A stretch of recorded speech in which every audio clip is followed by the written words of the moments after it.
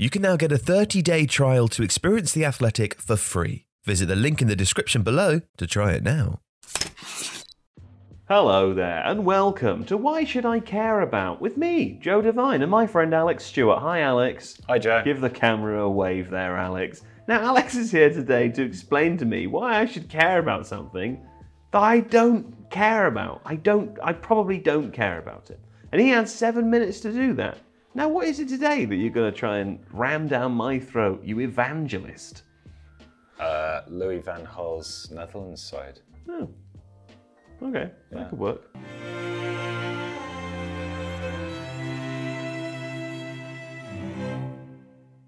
Yeah. Hey, there's an addition to the show now. You know, we did it last week as well, but uh, you know all about this. If you're doing well, big green light. Bit blinding on you, isn't it? If you're doing badly, it's a red light. Gosh. You know, and it's going to make it harder for you to do your job as well. But we'll sit here on this neutral little sea blue for now. Okay. Um, and you can crack on uh, telling me about Louis van Gaal's The Netherlands, Yeah. starting in three, two, one, The Netherlands. Okay, Louis van Gaal is an interesting guy, right? True. He was That's manager true. of probably my favourite club side ever. Man United. No, Ajax in the 94 Oh, 95 yeah, season. Remember that we did that lovely tactics video? Sure. Um, he's won four Eredivisie titles, three with Ajax, one with AZ Alkmaar in 2008 9. Hmm. Impressive one. that Quite one. weird, yes, Yeah. that was particularly impressive. Sure. Uh, he won the Champions League with Ajax as well. Uh, he's been a runner up a couple of other times. Uh, he took the Dutch national team to third place in the 2014 World Cup. And do you know what? I like that World Cup so much that I'm putting us on green because that was a fun one. It was a fun one. Interestingly, in that World Cup, he went to a back five system because if you remember, they lost Kevin That is so green. injury. Hold on, let me just take it off the green for a second. Yeah, you carry on now. Uh, yeah, so they lost Kevin Strootman to injury, and, and uh, they had to adapt their tactics. And he. Do you remember when Kevin Strootman was going to be like the next big thing? Yeah. But then he got those two, two really bad injuries? yeah, were they Achilles injuries or something? Yes, He was linked with Manchester United so many times, I remember that. Yeah, and then he, and I think he ended up at Roma after did, yeah, that. he did. Kind of didn't really develop in quite the same way, but Also, that World Cup, the opening was it the opening game where uh, the Netherlands played Spain Mm-hmm. and Van Persie did the incredible diving uh, swan header. it was lovely. Yeah, Oh. yeah, That was amazing. I remember that. yeah. Anyway, you've got five minutes and thirty-one. Great. seconds. Um, so Van Gaal obviously is, uh, you know, he's managed the Netherlands before. He's coming back into this Mm. job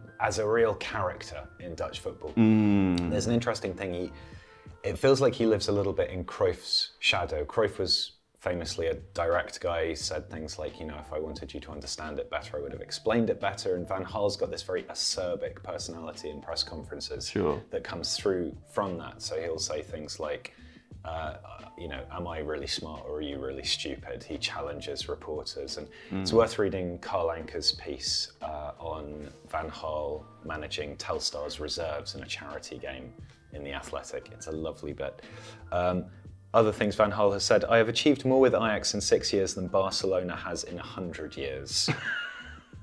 I have the body of a god, lederhosen suit me, but I also have a belly. I'm never cold because I'm warm blooded. My wife says so. We always sleep spooning. Well, I might have to stay in green for this whole this whole video. So that's good. Um, Sure. So what has he done with the Netherlands? Okay, well, it's worth noting, particularly at the moment, the Netherlands are a side that are absolutely stuffed full of exciting attacking young players. So you've got people like Jurriën Timber, you've got Matthias de Ligt, who will play possibly instead of Van Dijk sometimes, Justin Bijlow, the new goalkeeper, uh, Tyrell Malacia, who sometimes plays at left back. Uh, you've got Teun Koopmeiners, who's a sensible transfers pick, who plays in central midfield, defensive midfield. Donyell Malen, Cody Gakpo, Noa Lang, Sven Botman, you've heard of. They're pretty lucky, aren't they? Owen Wijndal, Perr Schuurs, Calvin Stengs, Mohamed Ihattaren, and I mean, I just wrote all of these down because it's Sure. basically like this is a potentially golden generation of Dutch football. Yeah. And they're being managed by a guy who famously likes to do two things. One is trust youth. Uh-huh. One of the reasons for that is that when he got the Ajax job, Ajax had no money at all, so he had to bring through all of these exciting young players. Hmm.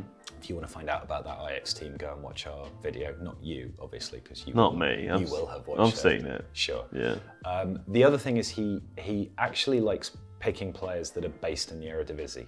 So uh, people like Bijlow, Timber, um, Gakpo. When Timber's running down the uh, the wing, does he? Here we go. Here's a joke. Everyone knows what I'm going to say, don't they? I don't. What if he gets fouled in the forest and no one's around? Does it count as a free kick? Or is Oh no, that- that's not what I was going to say. I was gonna, mine was much more stupid than that. Sure, that wasn't. I was going to shout when he's running down the wing. Does he shout timber? oh right. But, okay. You know, Um, even less good than yours. So, as I said, when Van Gaal managed the Netherlands last time, he had to go to this back five system because of Strootman. But he's returned to his favoured 4 3 3. And this is the kind of quintessential Dutch thing, right? So, you have these very advanced. You've got two minutes, fullbacks twenty-two here. seconds. Your centre back split nice and wide. Mm. Van Dijk, best centre back in the world, Sure. probably. Yeah. Frenkie de Jong, who we know about from Barcelona, who's a very exciting player, will then drop back here, either to this spot here or uh-huh. maybe to the left here. Yeah. And he's the guy who brings the ball forwards, who starts these passing moves, spraying the ball around. Memphis I'm here. just, just quickly a- just going to give you a little red for the brown colour you've chosen for your arrows there, right, 'cause well, that's it's very unpleasant, isn't it? Right. The brown okay. colour. Have a yellow colour instead. Thank you, I'll have How do you feel about that? I prefer yellow. So Memphis is able to drop off here and play as a false nine, and he likes moving into these half spaces. And what they're looking to do, basically, a lot of the time, is overload in the wide areas. Um, they like playing quick vertical football. De Jong's coming forwards, playing in players who are making these runs inside here. Memphis is dropping off and linking, then bursting forwards to get into the box. Basically, it's resulted in some in some excellent performances. Most recently, the 6-1 defeat of Turkey. Turkey, as you mm. know, decent side. So Sure. they drew against Well, Norway one all, but apart from We that, We thought they were. we thought they were. Can I ask a tactical question? Please. We've got the, the centre back splitting wide. We've got De Jong dropping deep. We've Yeah. got uh, a lot of lateral movement and, and interchanging up front. That's all really great. Yeah. How do they play with those massive arrows on the pitch, which you fucking deleted as I was making my joke? Just carry on. Um, one of the other interesting things about this is that no, well, you're giving yourself a red here, not me. That's not for me. Um, is that there is still some kind of vulnerability here, right? So De Jong is not really that great as a single pivot. No. Wijnaldum and Klaassen do get forwards a lot here because they need to support these attacking runs. Klaassen particularly looking to get in the 25 box seconds. Memphis is dropping off. So while this team is replete with attacking talent and Van Gaal is this kind of big figure in Dutch football and he's bringing through all of these exciting young players, they're not a perfect team. So they can do cool and exciting things, but there's a fallibility there.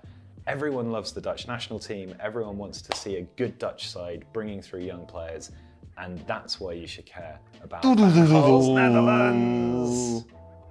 Oh yeah. Okay. Fine. I mean, do you? Uh, do I care about them? I'm going to go back to neutral to make my decision. I like Van Gaal. He seems like a funny guy, you know? I like his vibe. I'd like to go to the garden centre with him, you know what I'm saying? I feel like he'd be a good person to sort of walk around a bird sanctuary with. Uh, Right. do I care about the Netherlands? No, Okay, I don't. And I think the reason for that is because you because I got rid of the arrows. because you got rid of the arrows when I was trying to make that joke. You're punishing me. So we're going to have to end on a deep red here. I'm sorry about that. I'm sorry, everyone. Can we not Um, change it to an orange in honor of the Netherlands? Um, yeah, all right. There you go.